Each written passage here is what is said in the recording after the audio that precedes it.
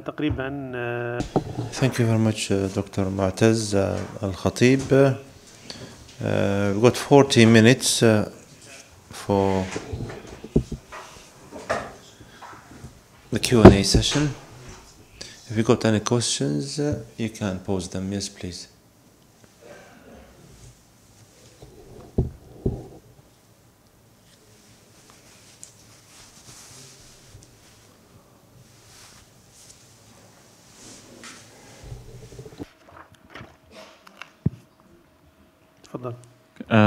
Name is Noor. Uh, the question is for Dr. Mu'taz.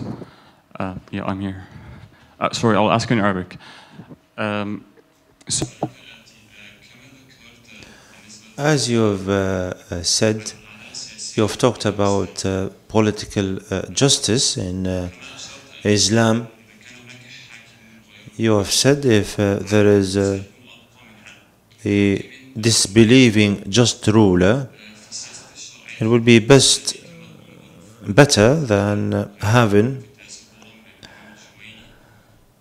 an unjust believing ruler. In accordance with uh, some of the scholars, uh, some of the scholars have uh, certain terms uh, and prerequisites uh, for the rulers. They ought to be just, they ought to be Muslims, they ought to be this and that. There are plenty of conditions. Uh, so, how could we uh, square uh, this circle? Yes, justice, justice versus the belief system, or justice. Uh, Yes, yes, I understood your question. Thank you. Any further questions?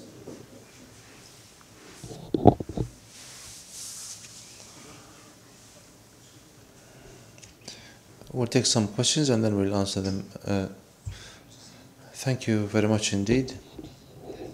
Abdullah, I'm a researcher.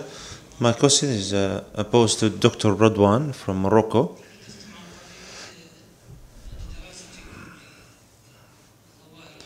when you've uh, studied uh, uh, ethical phenomena in the West and in the East, you are focused on the internal disintegration, as you've called it, and you have uh,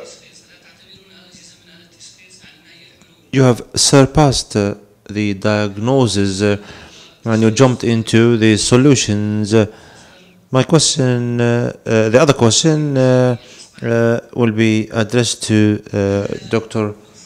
John. In 1997, uh, George Bush brought along a new conservatism, and I've read a number of articles about uh, this subject and the prelude of uh, invading Iraq and uh, disintegrating the international order, uh, the uh, think tanks are playing a major role in disintegrating the world. That means uh, uh, ethics uh, have been manufactured through the think tanks. However, what we call the ideal ethics uh, are being dwarfed, are being confined to universities and researchers. You have talked uh, about uh, uh, His Eminence Pope Francis and his paper.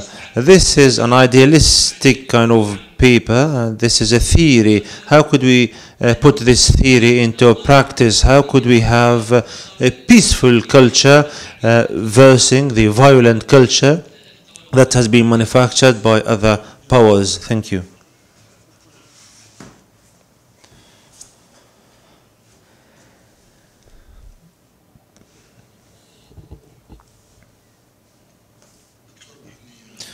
Dr. Bahania from uh, uh, Algeria. Three questions. Uh, uh, briefly, please. Yes, uh, my f- I, have heard uh, what Dr. Uh, Radwan had talked about, and uh, the gentleman had focused on the philosophical framework of Sharia.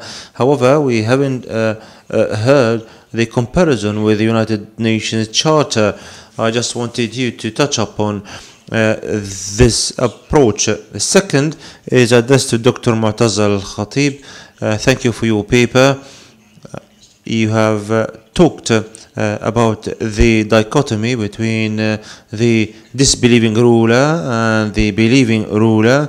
And uh, would it be possible to look at this matter? The other question is to Dr. John Dalla Costa. Uh, if you don't mind, uh, you have uh, uh, touched uh, upon the uh, Christian intellectual uh, thought. Do you think that there is a paradox uh, between the uh, Christian uh, philosophy and pragmatism, especially when it comes to the environment, the ecology, the wars and the crises and so on and so forth? Uh, there is a dilemma between uh, uh, this kind of uh, approach. uh. My question is addressed to uh, Mr. Radwan Rushdie. When it comes to the uh, Sunni thought and the Shia, Shia uh, uh, thought, uh, how could we interpret today uh, Shiism?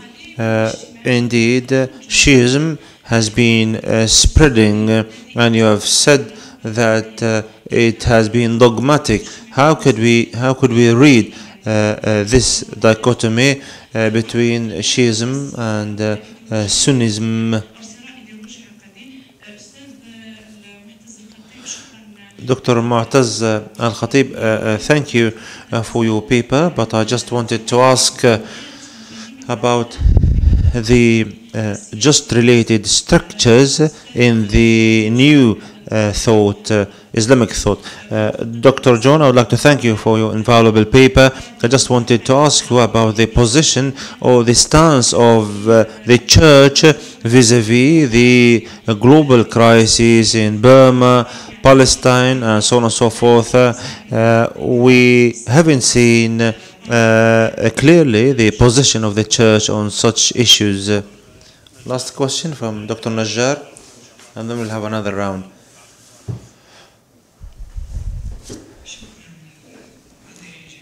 I would like to thank uh, all the panelists. I just wanted to interact uh, with uh, Dr. Mu'taz Al Khatib. I would like to thank him first for his paper. You have uh, uh, focused on political justice. This is fine, this is important. However, the social justice uh, is also important uh, in this regard, but uh, the Muslims or the Muslim community uh, dispensed with it, uh, uh, ignored it, and focused on the politicians per se. But the Islamic civil society and the community ought to be in solidarity with each other because it has the responsibility of uh, reaching social justice uh, because it is one of the pillars of uh, Islam and there are certain mechanisms in our religion uh, zakat, almsgiving, expend, spending in all its forms and so on and so forth. However, unfortunately, this uh, uh, belief pillar in our society has become forgotten and uh, it has been positioned in the back seat rather than the driving seat. Uh, we need to shed light on this perhaps. Uh, thank you.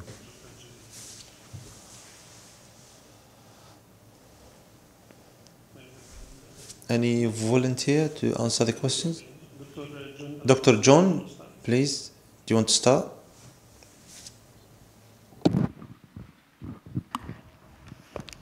Thank you for your attention uh, and your questions.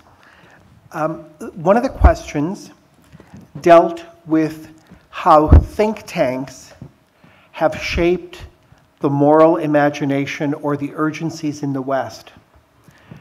What we know, uh, and there's a, a researcher at Princeton who's written a book called The Age of Fracture, is that many of these initiatives to forge fractured thinking came out of the 1970s as a response to the environmental movement, civil rights movement, and feminist movement of the 1960s, particularly in the corporate reality, but also in the political reality. The idea of rights, as they would apply to women, as they would apply to all peoples in civil terms, and rights in terms of the environment, were a threat to the economic paradigm.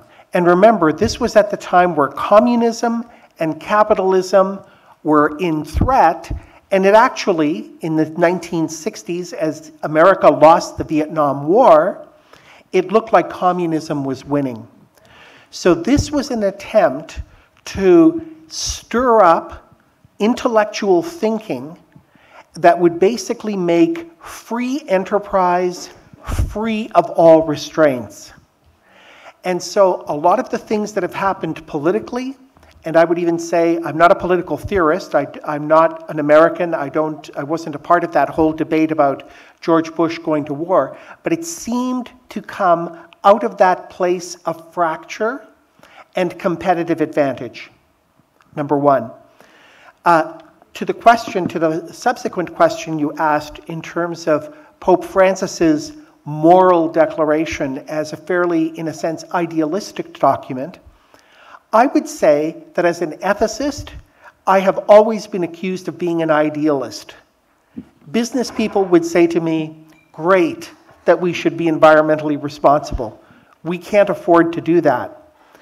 What we're seeing is that the costs of that practicality, which I called the despair from pragmatism, is leading us to actually breaking our reality, to contaminating our earth, to creating injustice to the point where we may not be able to survive, let alone thrive as a species. So, what Francis was doing was trying to create a vocabulary for conversation, for dialogue, that says what happens in the economy and what happens in the ecology is of profound significance to what happens in our religion and we need to be in a dialogue of forces. So it really was an invitation to dialogue. There's an awful lot of scientific evidence in what he does, um, but he was the beginning of a conversation. And again, remember that the church, until 60 years ago, had turned its back on the world. It had turned its back on modernity. And this is, again, part of historic change of re engagement. There are, in fact, ecologists and scholars who are trying to apply this, these principles on the grassroots level, and that's where we have to go. As with the example that I used from the Research Institute at CERN, we need to see how people who are expertly trying to solve real problems can use these principles to engage them more collaboratively, more creatively, more, I would say, improvisationally. None of us have a solution. We're going to have to experiment together. One initiative between Morocco and Spain has been to try to deal with the economic devastation in the Mediterranean to fisheries and to climate, to microclimate areas. And again, what's really interesting about this example, they actually call it ecological diplomacy is that they use communities to enter into conversation on a shared problem. Whether I'm uh, a Spaniard or a Moroccan, if I don't have a fish to eat, the suffering is the same. So, how in care for one another's suffering can we manage this resource together? So, I think Francis was trying to give us some principles, just as we've heard from other scholars, for being able to, across our differences, engage these problems together. Um, I should probably turn the mic over. I've got other questions I know that have been asked, but. Okay. So, uh, Dr. Ridwan.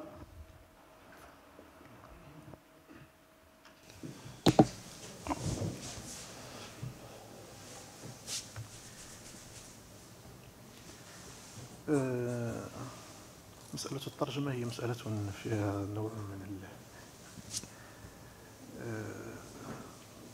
اعتراف نعم. كان الهدف بالدرجة الأولى هو أن نتحدث هنا عن عقلين اثنين. I just wanted to talk about uh, uh, two uh, uh, thoughts. The Sunni thought and the Shia, Shia thought. Uh, there is no communication between the two, there is violence. When it comes to the Sunnis, there are people who talked about denominations that uh, looked at certain matters superficially and uh, physically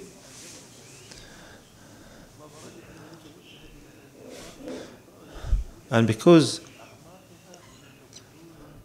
there are certain seeds for violence, then violence surfaced. And here we are talking about some people who uh, thought that they are the, the, they, they were the vicegerents of God. So when we look at this creed-related thought, we can see uh, that under the surface, these kind of issues are simmering, especially when it comes uh, to the uh, stance vis-a-vis the other. So they are saying that uh, you need to follow my ideas, uh, otherwise uh, you will be an enemy, and you can be mocked or can be derided. So when I plumbed the, the depth of uh, the Shia-related books, uh, I I uh, found the seed of disintegration. So for a Shiite person, uh, he or she would cleave to the uh, stance and they won't uh, accept the other's position. So uh, this kind of uh, uh, phenomena is there. It is the Karbala related system where Al Hussein was murdered. They are absolutists, they are fatalists, and uh, that's why uh, we have seen violence uh, on the part of the Sunnis and on the part of the Shiites as well.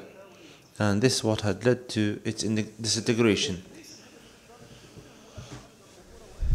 The aim is nothing to do with uh, just uh, personalizing the matter. The issue is to do with providing a solution. From my own perspective, I thought that rather than uh, looking at the creed or looking at the belief system and ending up uh, calling the other an infidel, we need perhaps uh, to look at the different higher objectives uh, uh, because uh, some of these scholars indeed followed uh, certain deductive matters rather than the pure religiosity especially when it comes to certain particularities, then I thought uh, cleaving to such higher objectives uh, will be fine within the uh, ambit of the laws rather than the Sharia per se. So, I personally wanted to understand uh, this dilemma, wanted to say that rather than uh, uh, being judgmental, we ought to follow perhaps Sanusi and Tahir ibn Ashur in the, and their perspectives, uh, i.e., to look at the matter from a different kind of uh, lens. Averroes as well, Ibn Rushd uh, talked about uh, politics uh, of Plato. and he didn't take much heed of the Sharia uh, per se.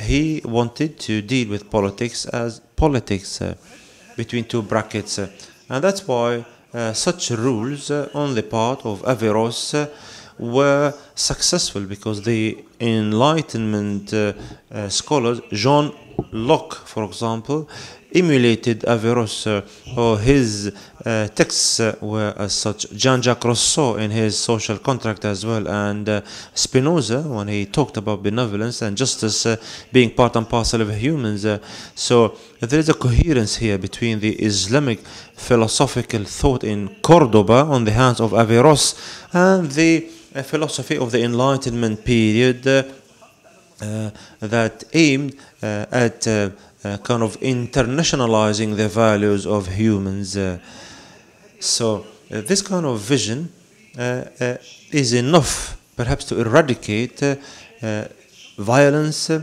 and uh, uh, to perhaps uh, uh, uh, try uh, to uh, emphasize the international values uh, because these values were there uh, in our uh, uh, philosophy and in the Enlightenment philosophy, and we ought perhaps uh, to re- resuscitate it, uh, uh, if I might say, in order for this philosophy uh, to be uh, depending on the value rather than being depending on the power as per Nietzsche as uh, uh, or the survival as per Darwin and uh, so on and so forth. So it is high time for this uh, value system, uh, the old one, the threadbare one, to be supplanted with another that is sublime because the ethical value is there. The ethical value is an is an existential one.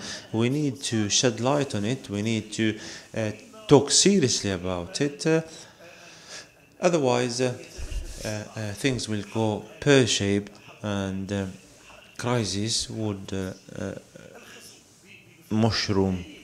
Invasions and uh, wars and crises and so on and so forth. So we need to have a philosophical based system. We need to change theory into a practice and we need to have ideas because the changes in Cordoba and the changes that took place in Europe depended on the ideas themselves. Thank you.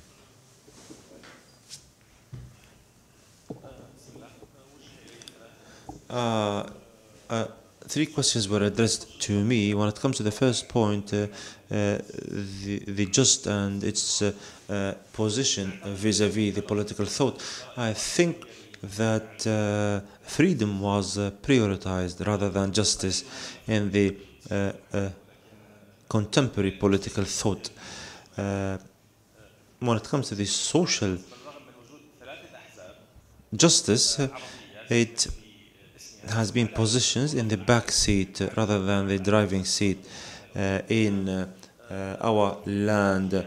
Albeit there are certain parties that call themselves the Justice Party. There's a Justice Party in Turkey, in Morocco, in Egypt, and uh, and other countries. However, uh, there is a problem when it comes to uh, theoretizing philosophically and ethically the uh, domain of justice, especially the social justice. I haven't touched upon the social uh, justice uh, uh, intentionally. I did so just because of the time constraints. Uh, when I, when I talk about Islamists, uh, politically speaking, Islamists uh, focused uh, on almsgiving and uh, benevolence, uh, uh, inheritance, and so on and so forth when it comes to social uh, uh, uh, justice. And here, the individual plays a major role. And it relates to the relief kind of efforts rather than the developmental efforts. uh, and this uh, might be emblematic to the fact that there is a problem with the, our governments. Uh, uh, there is a problem between the ruler and the ruled. Uh, uh, there is a clash between the two. And thus, these kind of social uh, justice issues uh, were confined to the individual, to the civil societies per se. And uh, as a matter of fact, it ought to be related to the state as well. The state ought to resemble the impetus or the lever. Uh, so uh, here we can talk about the frameworks, the legal frameworks, the authority itself. Uh, and the actions thereby. But we have a problem in this because the state in our land is not stable, or the states are not uh, uh, stable, and the, the jurisdictions thereby of the state is uh, uh, blurring or ambiguous. So, the social uh, justice, as I said, was revolving around the treasury, the loans, the expenditure, almsgiving, benevolence, uh, being good to your parents and giving them money, and the relatives and the poor and the neighbors and so on and so forth. Uh, but These kind of resources, in accordance with the classical Islamic thought, uh, took place under the umbrella of the Khilafah, the Caliphate, or the Sultanate. But we ended up facing a missing link when we became uh, the uh, uh, national state uh, or national states later on. I would like to move to the second point, uh, i.e., the relationship between uh, belief and justice. We need to understand the concept of justice first and foremost. And I talked here about the narrow definition of uh, uh, justice in according to those who separate between the belief system and justice. Uh, second, uh, justice uh, emanates from different kind of sources. Uh, Al-Raghib al-Asbahani said that we have a constrained justice and an absolute justice. The absolute uh, justice is permanent, cannot change. uh, like reciprocity. Like if somebody does good to you, you must do good to him or her. This is a formula that cannot be changing. However, there is all, there is another uh, justice that is constrained uh, in accordance with Miskawayh, the philosophical uh, Muslim. Uh, in accordance with the changes. So, what kind of justice we are talking here about uh, when it comes to uh, the dichotomy between justice and the belief system or the disbelief, and so on and so forth? Yes, there is the formula that I've talked about. Uh, a ruler who is a disbeliever and just is better than a ruler who is a believer and unjust.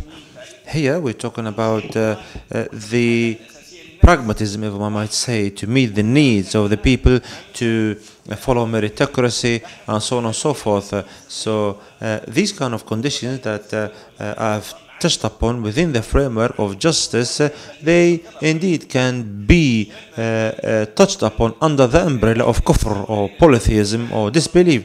But our problem is that some people are believers, but they are unjust. They are the most unjust people on earth. So, in order for people people's needs to be met, we need to have the rule of law, regardless of the belief system or, uh, or, or regardless of uh, being a believer or disbeliever. We need to have a law system, a framework, so that the people's needs can be met. Thank you.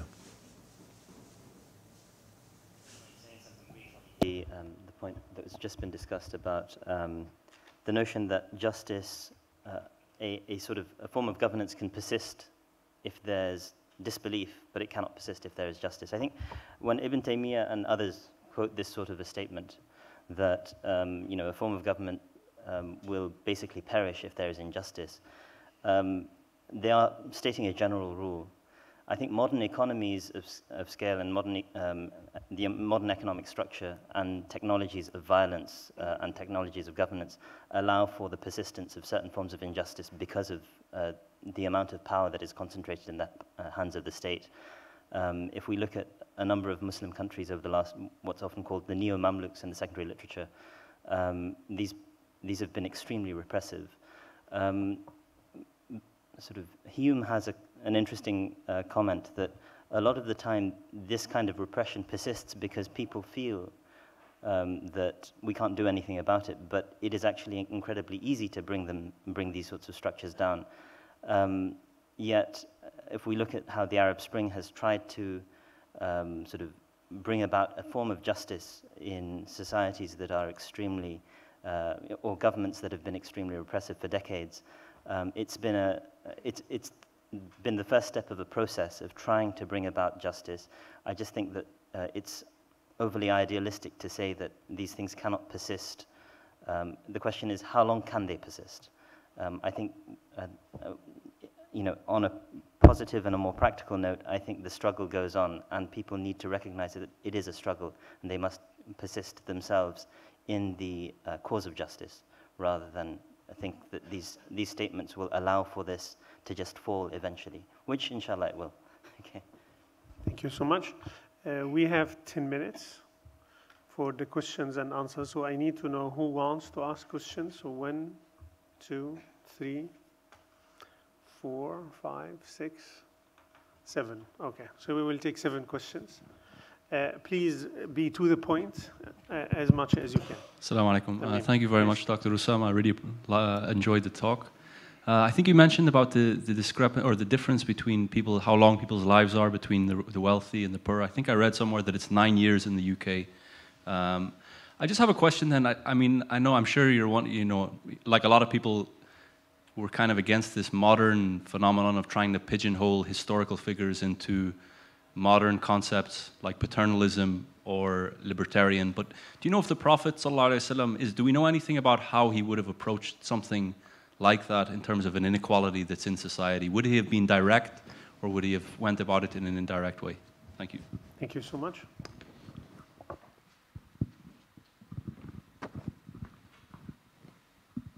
Thank you so much, um, Dr. Usama Azami. Uh, you, when it came to the Islamic approach or the perspective about inequality, you gave us two views and two explanations. In your view, which one do you think in contemporary times, in terms of the understanding, you would wish that that one becomes a normative sense? And how would that be able to solve some of the contemporary problems that we have in our In countries? solutions. Yes, Okay. thank you.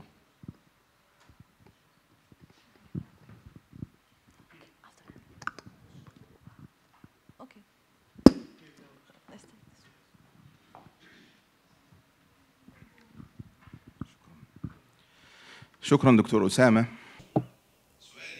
Thank you, Dr. Osama. My question is as follows. You have uh, said that uh, you don't uh, like what the Ash'ira had said in terms uh, of uh, the issue of uh, the texts. However, the Ash'arites uh, were not the only school of thought. Uh, there were different school of thoughts, and I wanted just for you to touch upon this. Dr. Uh, Mu'taz, uh, uh, as usual, you were uh, splendid in your uh, paper. However, my question is as follows: When it comes to justice, would it be possible, perhaps, to have it framed rather than being floating? Uh, a scholar had a definition perhaps in place and he said that justice is to provide anyone who has a need uh, or to, meet uh, everybody's need when it comes uh, to uh, different manifestations. Uh, Dr. Radwan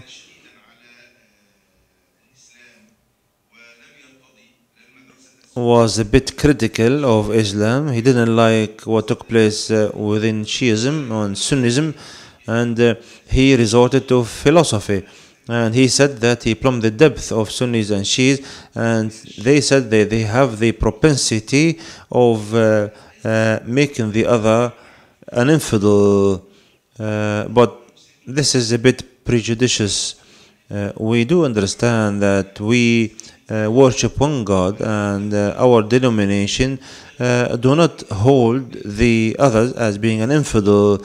We need uh, to look at the matter politically because there were certain problems uh, between the two. Yes, but we cannot generalize. We cannot say that the Islamic school of thought uh, cannot uh, extend the bridges with the other. Uh, this is a bit, uh, uh, perhaps, uh, uh, this needs uh, review. And the philosophy, the Islamic philosophy uh, that was emulated by the enlightened by the enlightened philosophers in the West in the 19th century, did not benefit uh, the West because we've seen the Bolshevik revolutions, the bloody one, and the French Revolution. We've seen two world wars, and uh, the Westerners were at loggerheads as well. I'll move uh, to Dr. John, and thank you for your paper. That was very beneficial.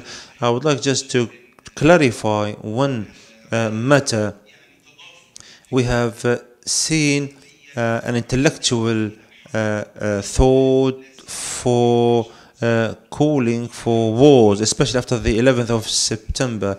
Uh, 60 Western scholars, uh, Bernard Lewis, for example, uh, talked about the basis of our war uh, wars, and uh, then the just war was floated within the context of scaremongering and warmongering in the future. Uh, Kissinger as well said that the Third World War or the drums have been uh, uh, played upon uh, in order to await for the Third World War.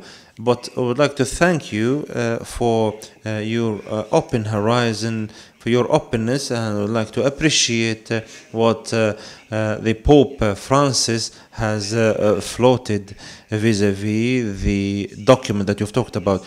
To what extent, this is my question, to what extent the Christian extreme right uh, is surfacing in Europe and in the world. We've seen what took place in Christchurch in New Zealand, uh, and everybody condemned what took place. But to, to, to what extent uh, we can uh, uh, look at this phenomenon, uh, especially when it comes to the uh, to the lack of moderation, perhaps, and the emphasis on the extremists, the right extremists in, in the Western society.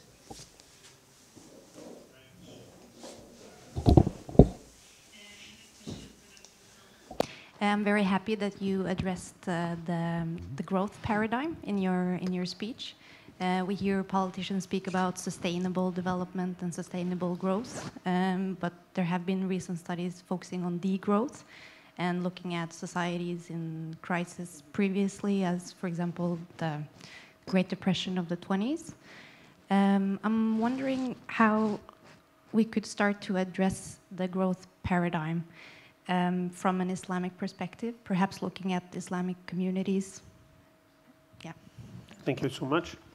Here, yes.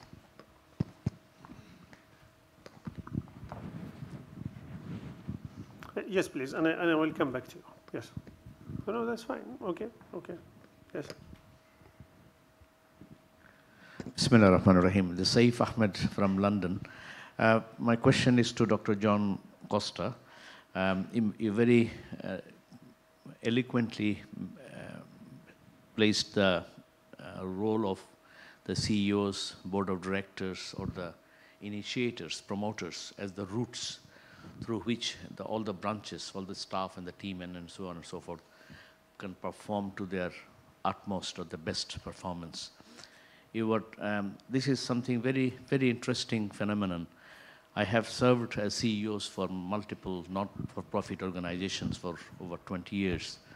Uh, it has always been my, um, my philosophy to empower every single member of the staff within the organization to achieve their ultimate objective and to synchronize the organizational objective and the individual aspirations together. And, and I, am finding it to be struggling. Uh, the two points. One is the horizontal accountability um, and devoid of chain of command and control. While I was on the top, I have agreed a business plan with the rest of the team and to synchronize their individual aspirations, organizational objectives in such a way that everybody struggles to achieve the goals. My philosophy has always been for anybody within the hierarchy is that if you make a decision, you get one points. If it is right, you get two points. If you do not make a decision, you get a minus one point. So people were encouraged to make decision in their own sphere, whether it is right or wrong.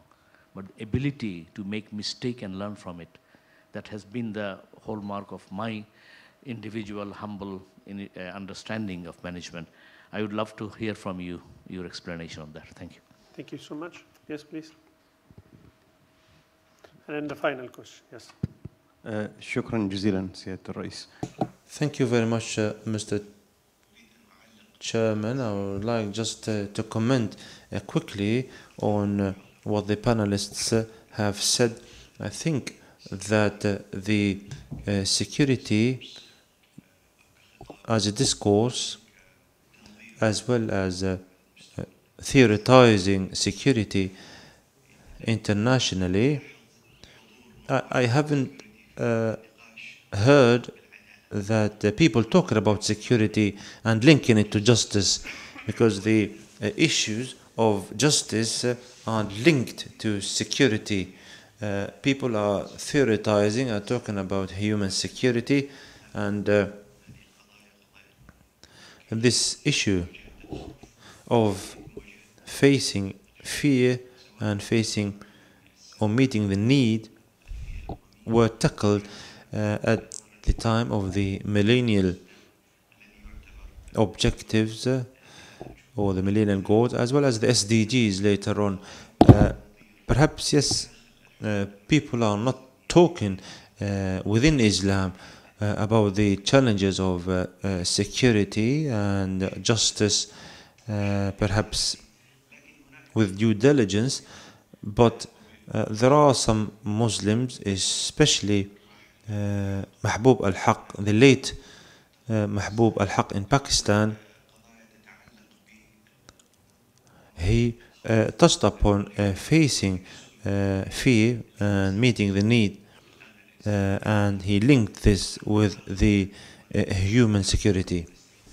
The other issue that we need to invoke is uh, to do with the role of uh, the uh, civil society organizations that uh, uh, might uh, perhaps change theory into practice because they are hands on, they have uh, uh, the gloves on in order to uh, tackle the issues in situ. Uh, the third point is to do with linking the rights with the issues of development, uh, i.e., to meet the needs and to face fear.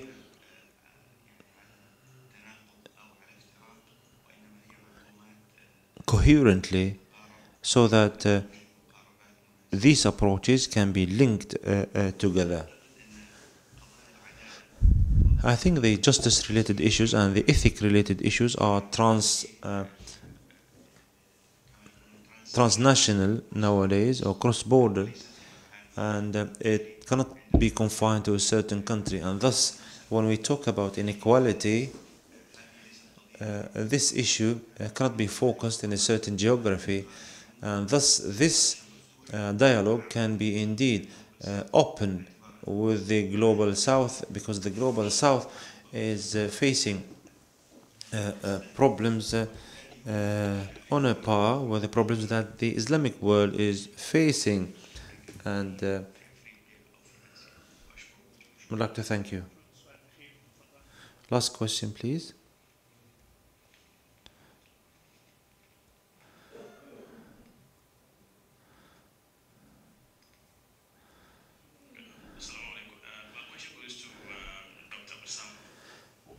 Um, you propose that uh, to tackle uh, inequality, um, we have to shift away from uh, just uh, perpetual economic growth to sort of uh, a different model.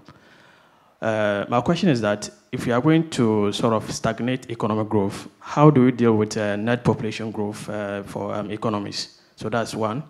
And my second question is that um, do you think we can decouple economic growth from economic development to achieve um, a reduction in inequality? Thanks. Thank you so much. Um, we are out of time. So it's better that we discuss this during the lunch, but no, no, we will not do that. so I will give each of you uh, like two minutes to comment on the questions you received. And if you have any concluding remark uh, for the session, if you want to say something before we leave. And I will give Dr. Osama one extra minute, two minutes for, for uh, the questions. Yes, you, you will be the last, Sure. if, if you don't mind. So we start with Dr. Uh, Dalla Costa, and then we move further, and the last will be Dr. Osama. So please. Thank you. Uh, several of the questions that I received earlier about the paradox in Catholicism or in Christian uh, intellectual tradition, its social justice, attentiveness to real world issues, and in fact, what's happening from an extremism perspective. Very, very complicated, obviously, uh, questions. What is interesting about the global ethics intellectual movement within the church is that Hans Kung, one of the Catholic theologians who was an original proponent of the global ethics, recognized that our absolute practices as Christians and as Catholics had led to some of the catastrophes that you articulated in terms of injustice, in terms of colonialism, in terms of world wars. And so the idea of a global ethic was to say we can be convinced in our faith, but humble enough to recognize that we don't have all the answers, hence the global ethic. And what I would say that Pope Francis is trying to now embody that ambiguity.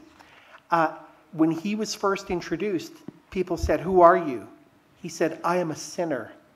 He began by saying, I don't have all the answers and I'm a failed human being, but I will do my best. The second thing that's really important in Laudato Si is that he actually sources Sufi mystics to help us grow our appreciation of the wonder of nature. So there's something about how we pray together, and think about how difficult that is, but that that opens our hearts to deal with some of these radical and exclusive elements uh, that we're all suffering from today. And the third element uh, that he brings to it is really a notion that I think touches on the question around empowerment. As people, we have adopted the mindset that we are consumers or that we are particular citizens of a particular country, nationalists, or that we are producers. And what we need to do in this notion of integral humanity that Francis talks about is recover our humanity.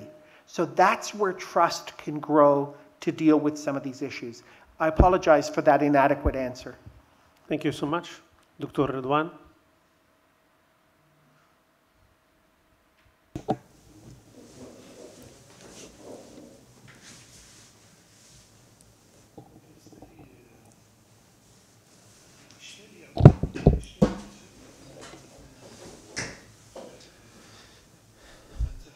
As far as uh, the problem is concerned, I think it is to do with uh, terminology. When we talk here about uh, the Sunni school of thought uh, in hadith, uh, theology, and so on and so forth, uh, there are plenty of schools rather than one Sunni school. And when it comes to the Shia, we have also schools, uh, and I've uh, dealt with these schools for years and years. But what I wanted to say, first and foremost is the criticism of the ideologues. Uh, بداية المجتهد ونهاية المقتصد for Averroes, he talks about the jurist judgment uh, that ought to be depending on understanding the text or we need to understand the differences between the scholars. That means uh, the theology and the hadith and the tradition and so on and so forth, they do not relate to the creed itself, but they have different kind of uh, uh, uh issues to tackle. When it comes to the other school of thought, some school of thoughts, uh, as I said, uh, they have uh, uh their own kind of uh, fatalism. When it comes to the Imami uh, uh, literature, and uh, we deduce certain outcomes, we understand that the underdoginess of Al al Bayt or the Prophet's descendants the underdogness and the Karbala incident when the Hussein was murdered, this kind of led to this undercurrent that uh, played a major role in opposing the authority and uh, perpetuating sometimes uh, violence on the part of the opponents and the proponents. yes, there are political reasons, however, intellectually speaking, I wanted to understand this school of thoughts and to plumb the depth of their thought to understand uh, the issues that led to the violence in the first place. When it comes to the others' thought, the Western philosophy, I just wanted to understand the Cordoba related school of thought on the Enlightenment scholars. I discovered that uh, Spinoza was influenced by it, uh, and uh, uh, as a matter of fact, a Moroccan uh, scholar, Ahmed Shahlan, translated the heritage of Averroes from Hebrew to Arabic, and he told me uh, personally that uh, there is a huge link between Spinoza and Averroes, and uh, as if Spinoza was one of his disciples. So these uh, people uh, uh, tackle the issue of freedom. Are we talking? Can we talk about freedom within Quran? or not? Can we talk about freedom within our tradition or not? I think that freedom is the uh, the issue here, is the bottom line uh, in in in our universe. Uh, so the Western paradigm indeed launched what we call the uh, uh, concept of the state. However, it depended on the heritage of Cordoba. And if we look at the uh, scripture, the Quranic text, uh, we discover that uh, the texts uh, that the jurists depended on were meager.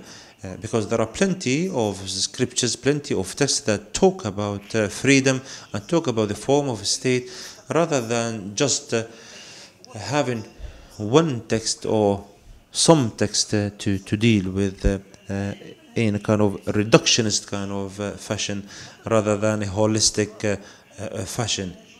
So here again, I would like to talk about the judgmental kind of uh, perspective.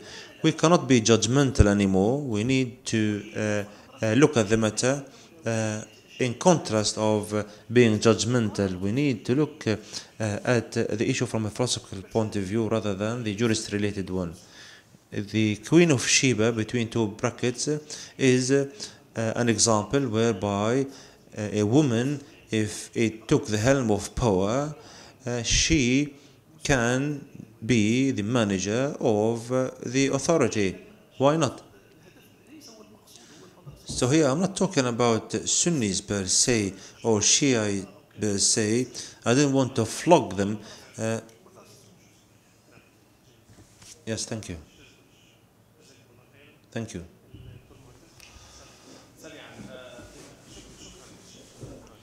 Thank you, uh, Sheikh Muhammad. Uh, and I do understand uh, the necessity of uh, finding a definition, but I'm not interested in definitions, I'm more interested in concepts. Uh, there are three definitions for justice, if you like. Uh, there are three famous ones. The one that you have mentioned, the second is uh, the Ibn Taymiyyah and others, i.e., uh, to put things into perspective.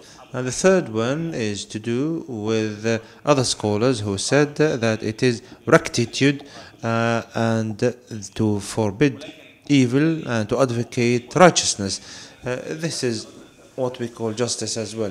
But if we would like to ha- have to look at the components of justice, but uh, there are three. The first one is oh, let's say there are three elements for the concept of uh, justice. The first one is uh, uh, justice, the other one is rectitude uh, or moderation, and the other one is equality. So these th- three kind of uh, uh, elements would lead to the overall justice. There's also the issue of the standard. How could we look at the criteria? How could we say that this issue is just and this issue is unjust? In accordance with the Western uh, philosophy, since Plato, there is uh, a debate uh, that uh, talks about the uh, issue of uh, meritocracy and it developed and it became the issue of the necessity. So we have the merit and the necessity, and now in the liberal circuits, people are talking about equality, and in the UN as well. But since Ibn Taymiyyah, there is a difference between justice and equality. Justice is the equality between co-equals. So, we cannot equalize between things that are different. But the problem is as follows who would uh, say that this can be equalizing another and this can be in disparity with? Ibn Taymiyyah said that the text can uh, talk about this issue and we can quote the uh, inheritance rules between men and women. Are we talking here about equality or talking about uh, reciprocity? Are we talking about symmetry? Are we talking about. So there are plenty of lexicons here. There's also the other issue of punishments, the issue of punishments. Uh, uh, if we deal with punishments uh, on a par with each other, then this might lead to different kind of issues that and lastly what I wanted to say that uh, uh, justice is the umbrella justice is a concept that is wider than iman or faith i.e. the creed or what we believe in and how we conduct ourselves and that's why Miskawayh said that there is reasonable or reason related justice and the Sharia related justice. And this is wider than Iman, than uh, belief. And this would lead us to uh, another issue, uh, i.e., the goodness and uh, uh, yes, I used to be an Asharite, uh, not anymore. Uh, the, Asha the Asharites deal with the texts uh, per se, and they uh, believe, in accordance with Ibn Taymiyyah, that uh, everybody believes that the good is clear and the evil is clear, and the reason would uh, pinpoint such definitions. But the problem is to do with the punishments and the reward. But everybody, the Asharites and others, believe that the good is clear and there's a difference between the knowledge and the reward. We can understand that this is good and this is evil uh, from our own thinking. Thank you. إذا هناك um, and I might merge a few questions um, وربما أجيب بالعربية بالنسبة إليكم إن شاء الله فيما بعد لكن um, so you started with the wealth gap oh he's disappeared uh, how would the Prophet ﷺ, oh, uh, deal with something like this I think one of the things that we uh, need to bear in mind is there is a historical context in which the Prophet ﷺ is operating, and our historical context is significantly different. We can draw inspiration from practices that he engaged in, um, but it has to basically be drawing on the maqasid of his uh, practices. Um, through most of human history, the vast majority of people have been relatively equal. Um, the wealthy would not be thousands of times wealthier than other people. They would be maybe 10 times uh, health, uh, wealthier. But um, in a sense, what's changed is the technological and regulatory frameworks within which we work. Um, that sort of new situation calls for um, enacting new policies. And, and the Islamic thought, uh, I mean, um, I forget your name, sorry, but you raised the question of um, the growth paradigm. The notion that if we grow the economic pie, the trickle down that will benefit everyone will ultimately raise everyone out of poverty. But this ignores, I think, and, and this has been under attack now for um, some years. Um, and I think the, the comment from above saying that, well, if you're going to stagnate growth, uh, how are we supposed to sort of maintain or um, you know, improve our economic condition? Um, I think to a certain extent that sort of a remark reflects an orthodoxy about um, how global economics should work, that there should be growth of a certain kind. Um, now, it's, there's no doubt that in much of the developing world, we still need continued growth. But as Pickett and Wilkinson have uh, demonstrated, and other scholars are adding to the conversation, that after a certain point of economic growth, it's not actually an increase in money that allows you to improve your life. The quality of life does not depend on money. And throughout the um, economic de developed world, this is now documented that income levels can go to a certain point, but then it's income differentials that create a greater or lesser life expectancy. In fact, I mean, this is also an argument about the benefits of income inequality in the advanced world. People think, okay, you need the developing world needs to be uh, raised from their current status. But, uh, sorry, Pickett and Wilkinson show that countries with greater income inequality um, actually have higher expectancy, life expectancy at both ends of uh, the sort of wealth uh, gap than countries with lower uh, income inequality. So in a country that has super wealthy people um, and very poor people, if they were to uh, adjust uh, the equality levels, both the wealthy and the poor will increase in their life expectancy. So there's benefits to be had on both sides. But there are uh, remarkable models that are now being discussed and, and proposed that would uh, allow for degrowth, so to speak, in the advanced world, still allowing for the develop, developing world to continue sustainable growth. And then sustainability is what is key because ultimately the growth paradigm doesn't work if in 50 to 100 years we don't actually have a livable planet. What's the point of a growth paradigm at that point? Um, بالنسبة للأشاعرة يعني هناك طبعا الماتريدية we have the Hanabila and some people, Al-Athariya and so on and so forth. Uh, what I would like to talk about, it is the Ash'ira uh, who are the ones who constitute the majority uh, or the ones uh, that deal with such kind of sciences and institutes. So in our heritage, when it comes to tahsin and taqbih, this is a very extended and expanded kind of topic. I did not want to go into the details of such a topic because it is a very wide topic. Maybe in future circumstances I might talk about it. Different contexts. So inshallah, um, you know, there should be a there should be social involvement in choosing what the best approach is. We need representative government for that purpose. Thank you very much for all the speakers. Thanks for your engagement and lively discussions. And my apologies if I put you under pressure because of the time. This is my uh, work here now and my capacity as moderator.